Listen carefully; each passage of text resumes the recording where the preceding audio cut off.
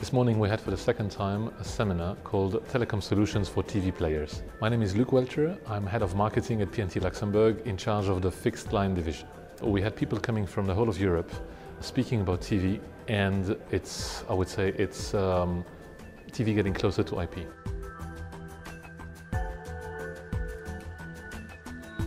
My name is Ingo Ries and I head up business development for Rovi in Europe. We're the leader in television guidance, so everything around electronic program guides. Um, and basically the new guide that I presented this morning that we're bringing to the public is three guides. It's a linear television guide for eight days in the future. It's also access to a broadband guide and it's also your personal guide where you have your pictures and your music that you have somewhere in your home network and you can watch it on your television screen. The primary target for this is uh, consumer electronics devices, so primarily televisions actually. We're bringing the technology onto the television set so that everybody else can publish its content on the TV easily.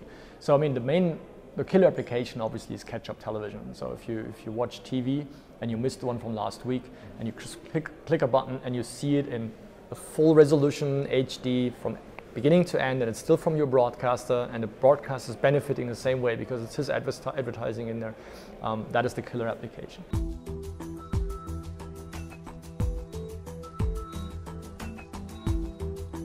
What we focus on is uh, ethnic groups. That's how we started our business. Uh, first by news gathering and then by distribution of these television stations, made them available to other people in Europe. My name is Dagobert Guida, Managing Director and founder of uh, Global Media Distribution Services. In the 1990s there was a war in the Balkans. A lot of people were involuntarily uh, displaced, as they say. Um, these people actually didn't want to leave their country, but they still wanted to see the television stations from their countries. And we started to specialize in providing these uh, television stations to their homes, uh, either via satellite or via cable or via IPTV. We believe actually that there's a small revolution going on, but it's, uh, it's done in a very decent way because nobody wants to upset the viewers. Because in the end, the viewers are the people who are going to like to to get their content in new ways than they used to. It's not true that internet is going to uh, sweep away every way of looking at the television that we do uh, uh, for the future. Uh, still the television set will be the focal point of entertainment and people will sit in a chair and enjoy it.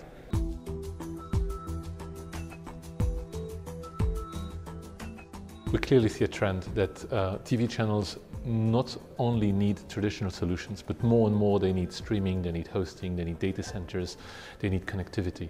In, in, in, that, in that field, the P&T can bring a lot of things to uh, any company who wants to, uh, to start a business or to develop his business uh, in Luxembourg. A lot of uh, media companies are looking for Luxembourg when they want to, to go to the next step of, uh, of development, when they want to start new businesses.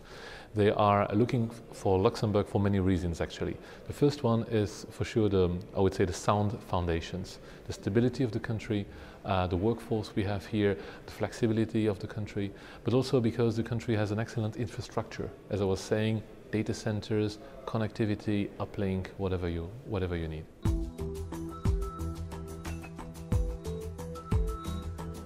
I believe Luxembourg has a major opportunity to further grow into one of the key hubs for media services in Europe. It has everything it takes. My name is Anne Mirat. I'm a partner in PricewaterhouseCoopers in Luxembourg. Tax should not be a business driver. It should definitely not be the sole business driver, but our uh, customers, businesses tell us that it is an important element and continues to be an important element. So what a business is looking for when making up its decision where to set up is an ideal business environment and also tax environment. Luxembourg, for a lot of time now, has been offering exactly that environment, uh, both in terms of business and in terms of tax.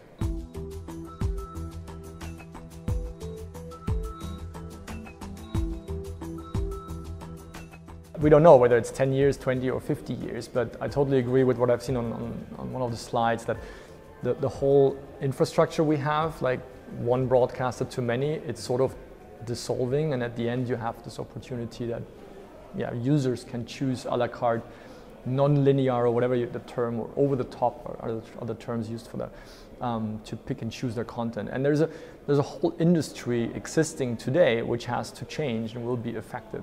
And to be honest, I think we're st st uh, still really early stages of this. In one sentence, TV gets closer to the web, and the web gets closer to TV. The web, sooner or later, will be for the, for the end consumer, he will not know anymore whether what he's watching comes from the web, from the internet, or comes from a traditional broadcast platform. We don't know yet which technology is going to be the all-out winner. Uh, we as GMDS believe that that's going to be a combination of all technologies. Content is king, technology is prince.